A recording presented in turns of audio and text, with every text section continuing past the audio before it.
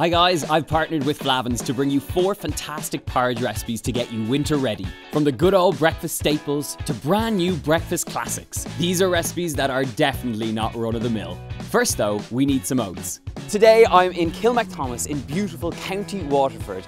My mission? To find out the secrets of Ireland's most favourite breakfast food.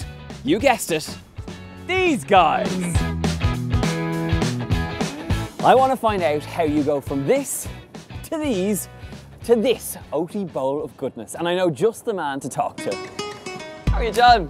John Flahavan is the head of this family business, which stretches back seven generations and is the oldest family run food business in Ireland.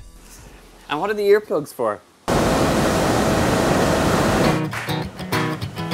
Aha! So this is where all the noise is coming from.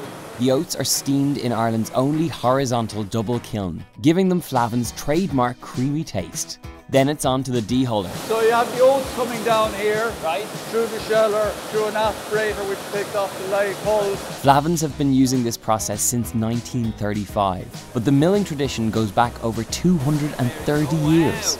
You can literally see them being separated like this. The oats are locally sourced from farms around the mill, ensuring the highest quality and consistency. Then it's down to the roller. John passed me on to the operations guy, another John, to show me this stage of the process.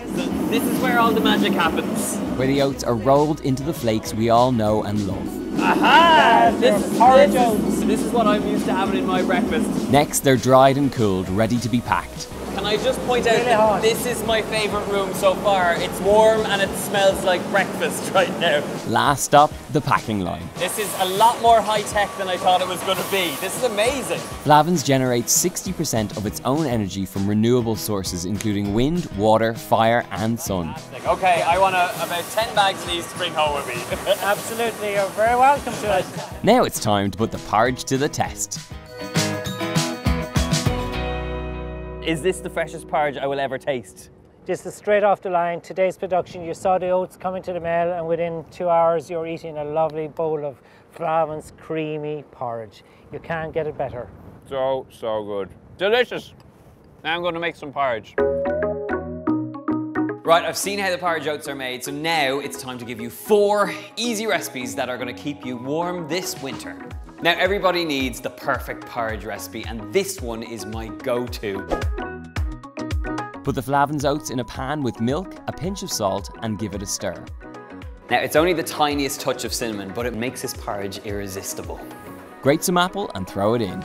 Then as the porridge starts to thicken, get it off the heat and straight into a bowl. Top it off with a little brown sugar and the rest of that lovely apple. A last little touch of some pecan nuts over the top and this is the moment of truth. This is so, so good, and I hope you give it a go. It makes the most of those gorgeous Flahavans oats. Yum. Pancakes make a great weekend brunch, but these ones are extra special because we're gonna make up a simple oat flour using gorgeous Flahavans porridge oats. Blend the Flahavans oats in a food processor until they're really fine. Add the flour to a bowl with two egg yolks, a teaspoon of baking powder, salt, chia seeds, cinnamon, milk, and then mix it all together. Next, whisk the egg whites in a bowl. Add them to the mix and fold them in. Spoon the batter onto a hot pan. Add in the blueberries. Then add the blueberries directly to the pan to make a nice sauce. Serve the pancakes with fresh yogurt and orange zest. So good. Ah. It is super tasty and one that's a complete game changer for your weekend brunch. Enjoy.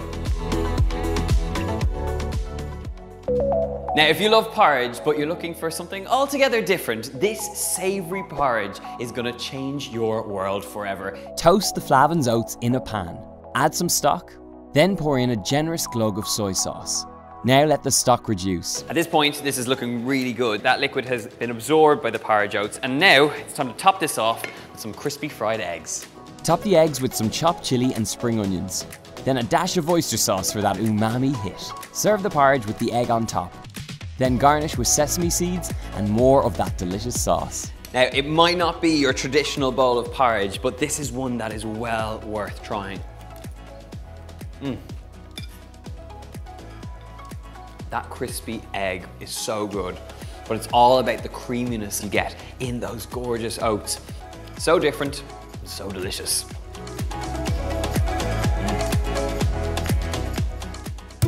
Harvest soup is a great standby recipe to have on hand when those nights get a little bit colder and a little bit darker.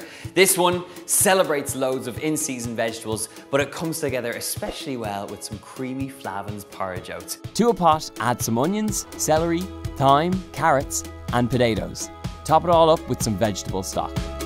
Once it's come to the boil, add the all-important Flahavans oats and some butter beans.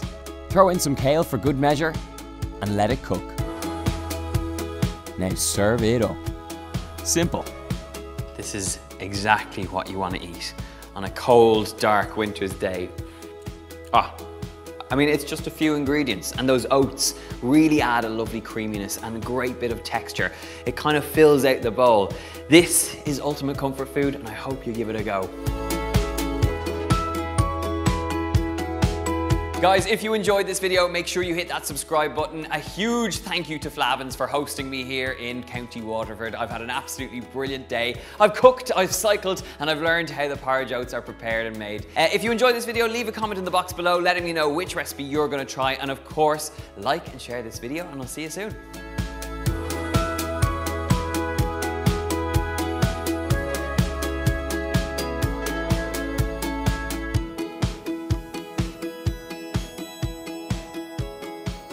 Three, two, one. Now, if you love porridge and you want something a little bit different, this savory porridge is gonna get